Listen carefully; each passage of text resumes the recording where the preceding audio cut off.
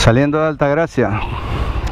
Tráfico, tráfico, tráfico, tráfico. Acabo de visitar ahí la, la estancia jesuítica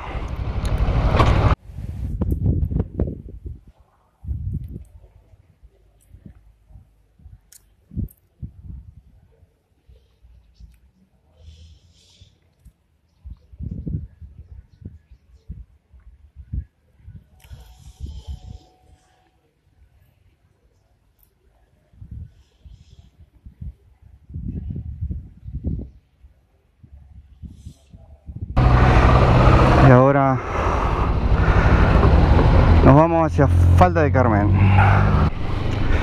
Un trecho importante que empieza siendo 12 kilómetros pero pueden ser bueno hasta Mendoza y de vuelta pueden ser 3.000 kilómetros. Más lo que giremos allá más el Cristo Redentor. No creo que crucemos a Chile porque soy demasiado pobre. La pobreza es así, limitante. Pero interesante lo que se ha visto hasta ahora. Esto que se ve es Altagracia. Bueno, típica ciudad serrana, construida sobre la ladera de la sierra, subidas, bajadas, curvas raras. Uno se pierde muy fácil acá. Un buen amigo es un GPS en una en una ciudad como esta, pero uno también puede errarle como acabo de hacer, que tenía que doblar a la izquierda, pero no lo hice.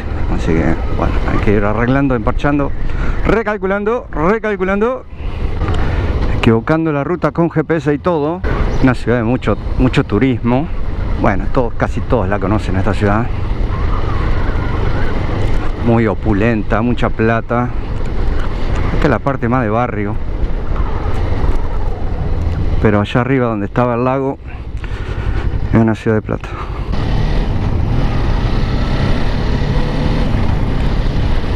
Anduve con mucha fiaca para filmar adentro de la ciudad, mucha. Así que lo único que se va a ver o que voy a guardar va a ser la salida desde el lago hacia acá. Acá hay choco, hay choco, ahí está. Vamos. Ahí lo último que hicimos hoy fue visitar el patrimonio de la humanidad, la estancia jesuítica, pero vamos, yo soy un patrimonio de la humanidad y no ando haciendo tanto escándalo. 6 de enero, día de los reyes, me estoy dando el regalo de viajar un rato. Son mil kilómetros de ida a Mendoza capital. Allá tenemos una buena gira de unos 600 alrededor, eh, no, creo que 800, entre subida y bajada de montaña y demás. Y, y la vuelta, así que estamos en 2800, en- va a ser un viaje de distancia media nomás. Son pocos días, son, voy a tener, bueno ya tuve dos días en Altagracia, van a ser dos en Mina Clavero, o sea que viene relajada la cosa. Dos o tres en Potrero de Funes San Luis y siete días en Mendoza. Por eso son 800 kilómetros allá, porque vamos a tener que circular y de vuelta a la base, que la base va a ser Mendoza capital. Está alquilado, ya pagado el alojamiento. Vamos con la seguridad de que hacemos lo que queremos y tenemos ya siete días allá. Bastante relajado. Voy a tirarme en bungee jumping, o sea, salto desde el puente, atado de los pies. Yo sé que muchos quisieran que no me ate los pies, pero bueno, es para no manchar el fondo del el lecho del arroyo. Am, ¿Qué más? Acá en Altagracia podría haber hecho eh, paracaidismo, pero era mucha plata. Me salía casi tan caro como los siete días en Mendoza, entonces no, no lo vale. No, no lo vale. tal vez lo valiera o lo valdría si ah, viniera específicamente a eso y no un viaje de 14 días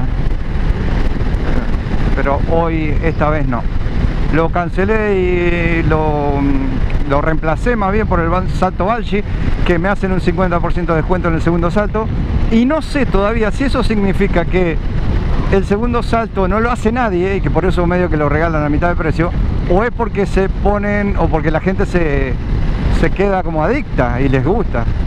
No sé qué, qué significado tiene lo de lo del Santo Banshee. Los viajes te van dejando conocerte conocer un poco de cómo es la gente lo que se llama la condición humana.